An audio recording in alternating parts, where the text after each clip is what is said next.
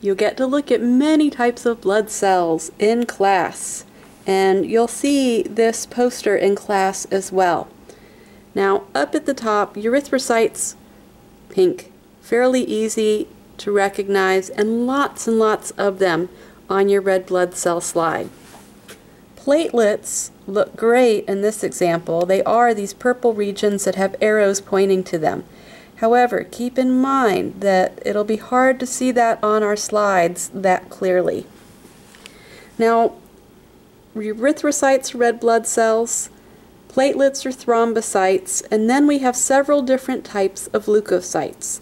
And those will include neutrophils, eosinophils, basophils, lymphocytes, and monocytes. And they give us a few different examples of all of these on this poster.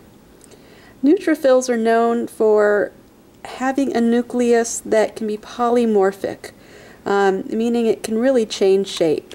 This one is where you have one all together and kind of in a C-shaped, but it's still relatively thin.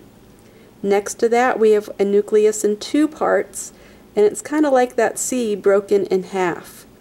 Here in three, here in four, and maybe even more on this one.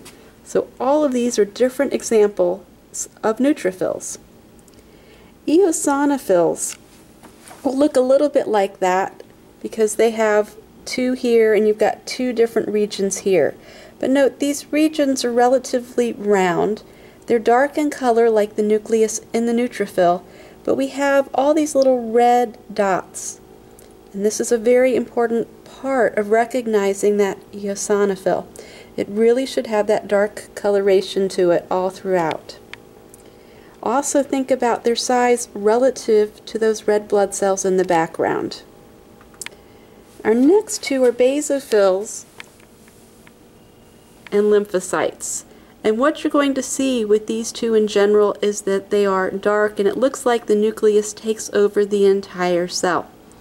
Now that's not quite the case here. One difference between these is basophils tend to be larger in size and they are dark all the way to the edge of the cell. And when you're looking at the lymphocyte, let's see if we can get closer down here, we can see a thin rim of cytoplasm here and here. Now, and as some of these get larger, our cytoplasm is more visible in a thicker region here and here as well. So the nucleus tends to be about the size of the red blood cell. The amount of cytoplasm can vary around it. And that's how you separate. The basophil, you're not going to see that cytoplasm around.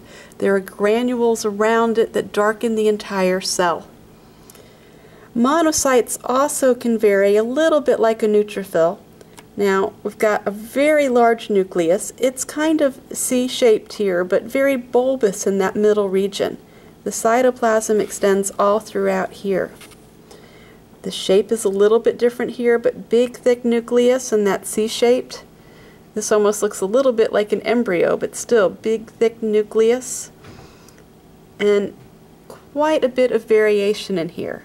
When you start to think about size, though, this is the largest, and you could fit several red blood cells inside this one monocyte cell.